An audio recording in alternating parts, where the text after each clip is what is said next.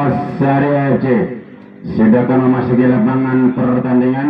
Nah sekali lagi untuk fans atau bangku cadangan diperuntukkan hanya untuk pemain cadangan dan maksimal maksimal 7 manajer sama-sama menantikan dari penampilan kedua tim di sore hari ini.